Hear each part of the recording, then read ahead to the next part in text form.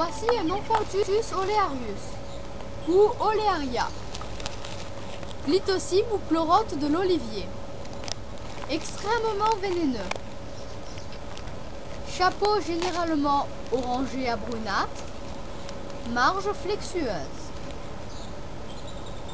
Lame décurrente et serrée, de même couleur que le chapeau.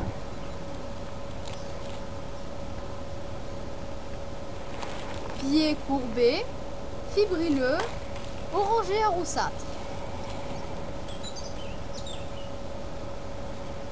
Chair jaunâtre, orangé à, safrané.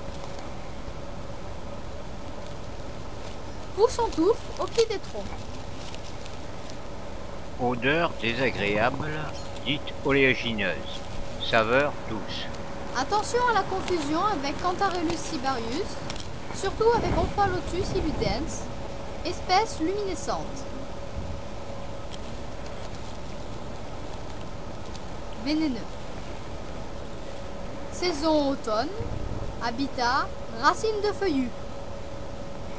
L'Omphalotus olearius ou illudens possède des lames, alors que Cantarellus cibarius ont des plis. Omphalotus illudens, espèce luminescente. Autre variété très proche. Les deux sont extrêmement toxiques.